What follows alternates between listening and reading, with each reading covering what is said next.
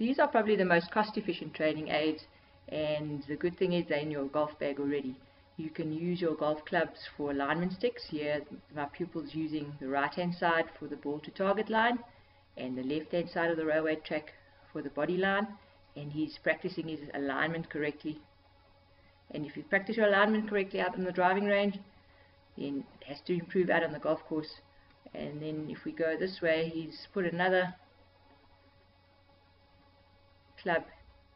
in the middle of his stance there so he can see where his ball position is. And um, in this way if your ball position is good your alignment is good a lot of basics are being um, worked on and your ball striking should improve. You can use alignment sticks when you're practicing your chipping and definitely when you're practicing your putting.